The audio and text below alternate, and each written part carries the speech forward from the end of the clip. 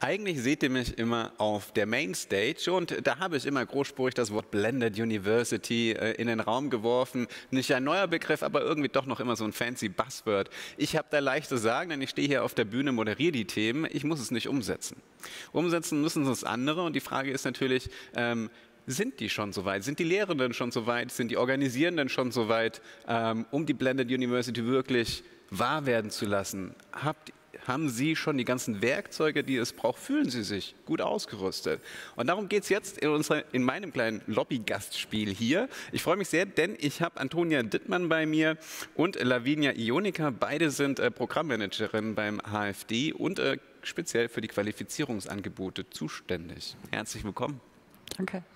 Wie sieht es denn aus? Also, bevor wir auf eure Qualifizierungsangebote zu sprechen kommen, wie qualifiziert sind denn ähm, die Betroffenen ähm, in Bezug auf die Blended University?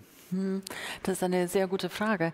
Wir haben natürlich ähm, durch die Pandemie auf einen Schlag äh, Lehre digital umstellen müssen, aber nicht nur Lehre, sondern auch die Weiterbildungsformate.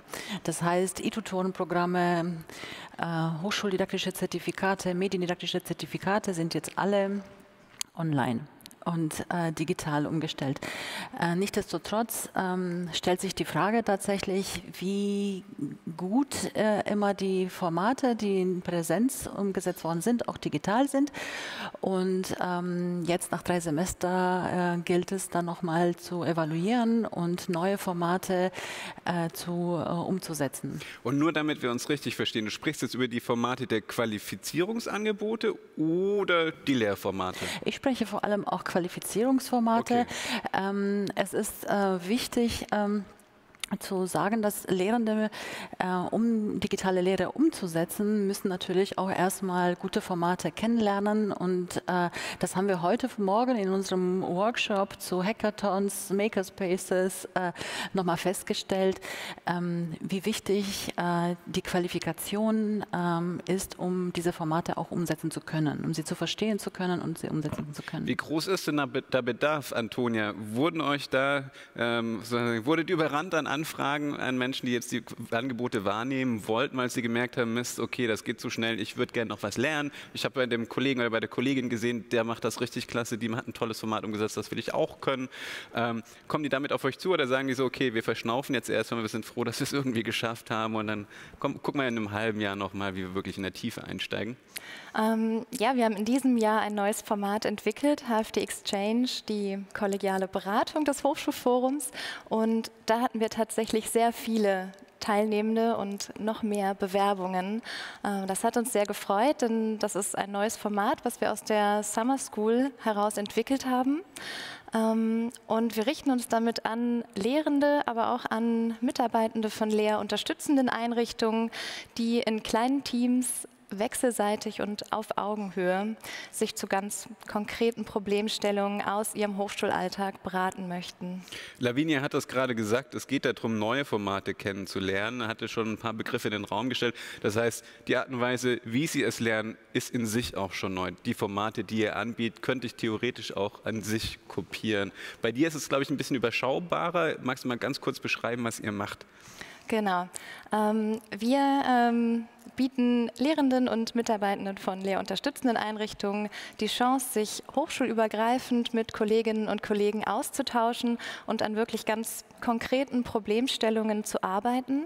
Ähm, unser Format ähm, erstreckt sich über zehn Wochen ähm, und in dieser Zeit bieten wir durch gemeinsame Treffen in großer Runde äh, den Rahmen. Wir führen ein in die Methode der kollegialen Beratung, die die Teilnehmenden dann selbst anwenden werden, ähm, ermöglichen da aber auch ein Kennenlernen, das Teambilden und den Austausch über die Erfahrungen mit der Methode. Ähm, und dann können die Teilnehmenden wirklich selbst organisiert ähm, sich in kleinen Teams zu Beratungssessions treffen. Mhm. Ähm, das sind in unserem Fall äh, fünf Meetings, die diese Teams dann haben und sich äh, beraten. Äh, fünf, weil jedes Team aus fünf Personen besteht. Mhm. Da, da, äh, da, muss ich jetzt kurz nachfragen, weil ich habe auch natürlich mal gespickelt auf eurer Landingpage. Da hatte ich so ein Diagramm gesehen. Man berät sich zu dritt. Einer hat die, Moderat, äh, die, die Moderatorenrolle, eine andere Person ist ähm, als Fallgebende mit dabei und eine dritte als Fragenstellende. Das rotiert ihr. Jetzt sagst du fünf. Das heißt, es geht auch zu fünft? Oder? Genau, genau. Das sind okay. fünf Personen, weil wir tatsächlich neben der Person, die den Fall einbringt, mhm. der Person, die moderiert, drei Personen haben, die beraten. Ah, verstehe. Ähm, okay. Und dadurch ermöglichen wir wirklich eine große mhm. Perspektivenvielfalt auf äh, die Problemstellung, die die Person mit dem Fall einbringt.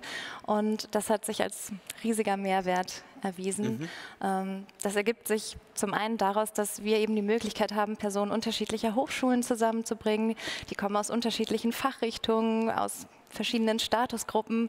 Ähm, ja, und diese Perspektivenvielfalt ermöglicht einem dann nochmal das eigene Problem, die eigene Situation mhm. zu reflektieren und dann gemeinsam daraus Lösungen abzuleiten.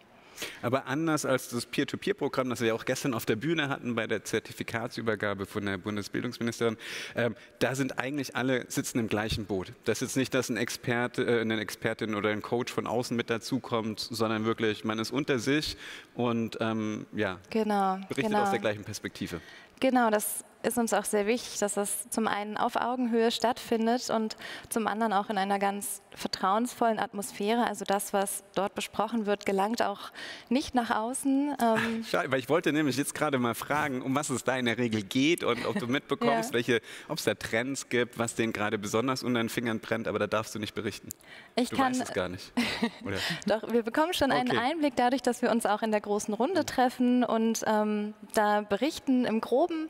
Und ähm, es geht um ganz viele verschiedene Themen. Also mhm die Themenvielfalt ist groß. Und ähm, bei den Lehrenden waren es in diesem Jahr die Themen ähm, digitale Prüfungen, welche Rahmenbedingungen braucht es, ähm, wie kann ich die gut vorbereiten.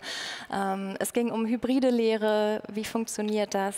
Es ging auch darum, wie kann ich Studierende gerade in der digitalen Lehre noch stärker aktivieren und wie schaffe ich es auch, ähm, didaktische Formate einzuführen, in denen die Studierenden eigenständig kollaborativ zusammenarbeiten.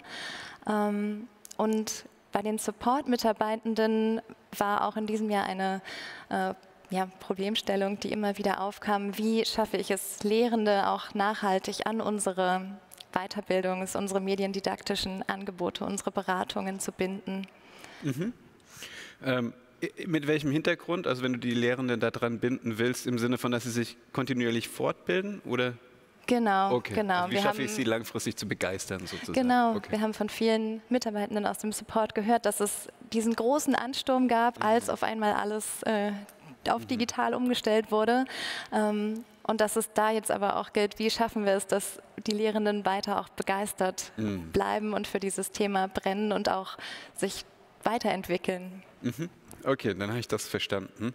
Ähm, ich weiß, wie gesagt, du hast ja gesagt, das sind sehr vertrauliche Settings. Ähm, was dort drin besprochen wird, dringt erstmal nicht nach außen. Da wird jetzt kein Blog-Eintrag drüber geschrieben oder so. Wir haben trotzdem einen kleinen Einblick vielleicht nicht inhaltlicher Natur, aber zumindest, warum es sich lohnt, mitzumachen. Denn im Chat ist auch ähm, Joanna Eichhorn, das wissenschaftliche Mitarbeiterin im Bereich Hochschuldidaktik an der TU Dortmund, war Teil oder ist Teil vom HFD Exchange und die steht im Chat zur Verfügung und ähm, kann einfach mal so ein Live-Testimonial abgeben. Und wenn Sie Fragen haben, sich dafür interessieren, dann können Sie auch einfach Joanna direkt ähm, anchatten, jetzt hier im Lobby-Chat sozusagen. Ähm, herzlich willkommen, Joanna. Schön, dass du auch mit an Bord bist. Und ähm, schreib doch gerne mal in den Chat, ähm, was dein Highlight war oder was für dich wirklich das war, was es ausgemacht hat, daran teilzunehmen, was du mitgenommen hast. Ähm, genau, wenn du willst, natürlich auch inhaltlicher Natur. Schön, dass du im Chat bist. Ähm, vielen Dank. Lavinia, kommen wir zu dir. Bei dir ist es ein bisschen umfangreicher. Es ist nicht nur dieses eine Format, Antonias Format, rein digital, um das auch nochmal klarzustellen, quasi diese kollegiale Fachberatung läuft nur digital ab. Bei dir, ihr seid auf den unterschiedlichsten Kanälen unterwegs, ihr stellt Materialien zur Verfügung, es ist digital, es ist ein bisschen umfangreicher. Magst du mal vorstellen, ja. ähm, um was es bei dir geht? Hm, gern. Ähm, Wir haben, also nochmal zum Kontext, mhm. wir haben ähm, sehr viele Hochschulen, die zurzeit gerade dabei sind, Digitalisierungsstrategien für Studium und Lehre zu erstellen. Und das sind viele Mitarbeiter, die erstmalig sich mit diesem Thema beschäftigen. Und für diese Zielgruppe hatten wir im Juni und Juli dieses Jahres einen Online-Kurs zu Digitalisierungsstrategien, Studium und Lehre erstellt.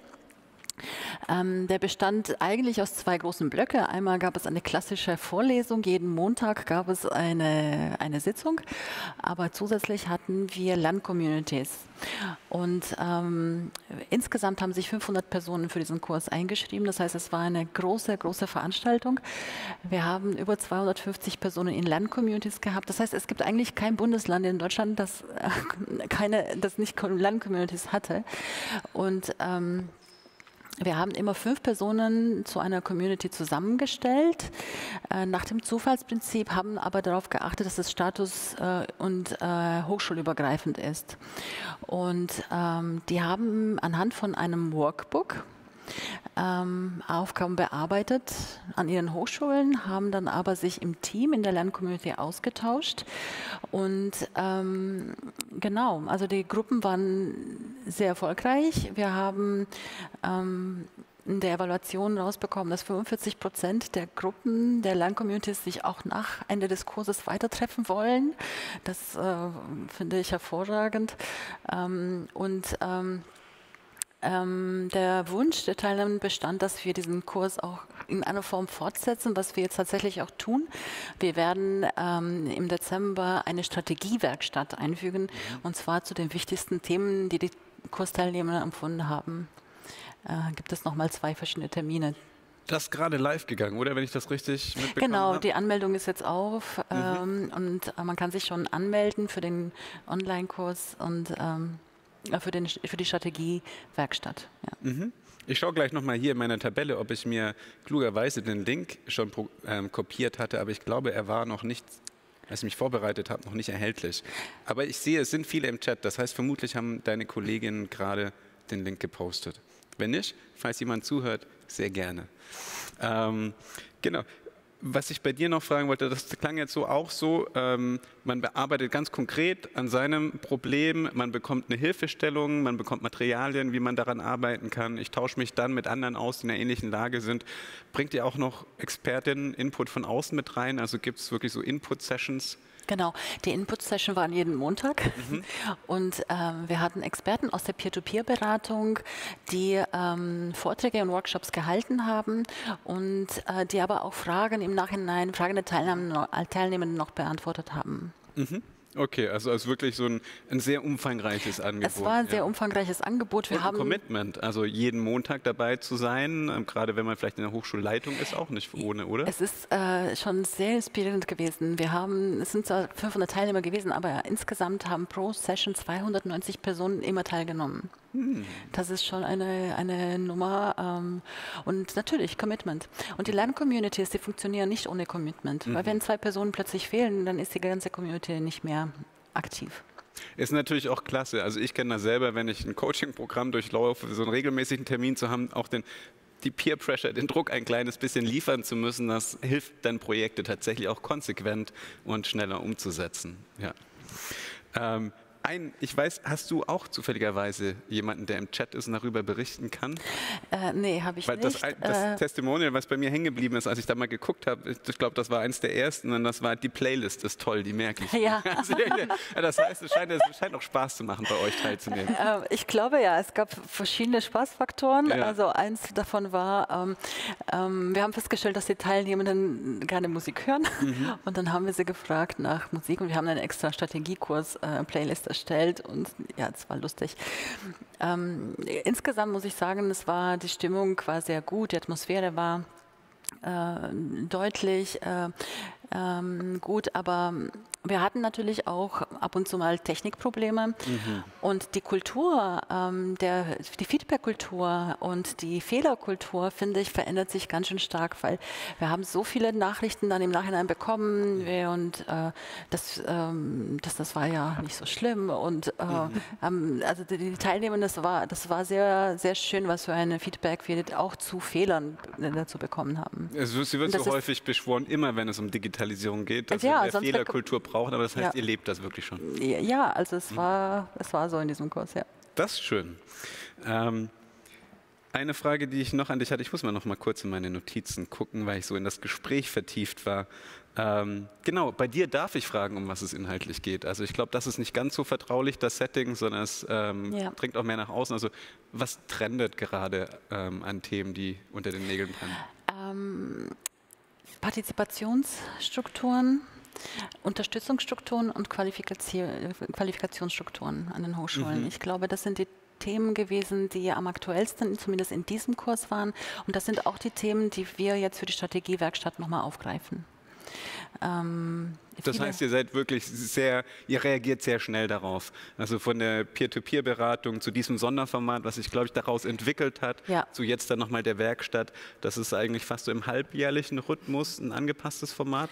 Oder? Also es war wirklich im Flow. Ja. Also Anfang des Jahres war ganz deutlich, äh, Digitalisierungsstrategien sind extrem wichtig geworden. Wir haben sehr schnell reagiert und haben diesen Strategiekurs ähm, konzipiert. Ich und meine Kollegin Janika Budde. Ähm, wir haben dann den durchgeführt äh, und es ist jetzt klar, wir, die Teilnehmenden brauchen eine Fortsetzung. Sie wollen sich vertiefen, mit bestimmten Themen auseinandersetzen und das machen wir jetzt. Also wir arbeiten schon sehr agil in dem Klasse. Setting. Also drei Formate haben wir jetzt schon kennengelernt. Die Werkstatt, die nächste Woche kommt, ähm, Exchange ähm, bei dir und eben der, der Grundlagenkurs für Digitalisierungsstrategien, Studium, Lehre bei dir, Lavinia. Wir sind gleich schon am Ende hier. Fragen kamen, glaube ich, keine im Chat. Wenn ihr welche habt, dann ähm, tippt sie schnell in den Chat. Wir gehen noch drauf ein. Ähm, was ist noch offen? Was haben wir vergessen? Oder was ist wichtig und was sind die nächsten Anknüpfungspunkte? Also ähm, ich ja, kann es ja ergänzen. Ähm, ich würde sagen, dass ähm, die Formate, die wir äh, vorhaben, sind auch für uns äh, zum Teil neu. Und wir sind auch sehr dankbar darüber, dass wir so eine große Teilnehmerzahl auch haben, um das umsetzen zu können und die, dass die Teilnehmer so motiviert sind. Und ähm, ein zweiter Schritt ist jetzt, nachdem wir die Erfahrungen gemacht haben und sie erprobt haben, es weiter in die Breite zu bringen. Und dafür planen wir jetzt auch im nächsten Jahr neue ähm, Programme, wie zum Beispiel ein Train-the-Trainer-Programm. Genau. Klasse, das heißt, es vervielfältigt sich, es werden noch neue Formate entstehen. Ja. Genau, wenn Teilnehmende oder auch Personen, die jetzt nicht teilgenommen haben, denken, ach, das würde ich eigentlich gerne mal selbst anbieten, dann haben sie im nächsten Jahr die Chance, das bei uns zu lernen. Cool. Kollegiale Beratung oder Lerncommunities beispielsweise an die eigene Das heißt, Hochschule im zu besten bringen. Fall stehen wir in einem Jahr wieder hier und dann berichtet nicht ihr, sondern dann berichten sch- schon die Train the Trainer. Ähm, Genau. Wunderbar. Vielen Dank euch. Schön, dass ihr da wart. Ähm, es klingt sehr spannend. Ich weiß, die Kolleginnen haben im Chat fleißig noch die Links nachgeliefert und ähm, Joanna hat auch wirklich ausführlich beschrieben, ähm, was sie für sich herausgezogen hat ähm, als Teilnehmerin von Exchange. Ähm, wenn es konkrete Fragen gibt, durch die Links klicken ähm, und natürlich hier auf der Plattform auch mit Lavinia oder mit Antonia connecten. Auch beide auf LinkedIn. Es gibt die unterschiedlichsten Möglichkeiten, mit ihnen in Kontakt zu kommen. Vielen Dank euch. Danke. Und damit verabschiede ich mich wieder hier aus der Lobby. Bis später.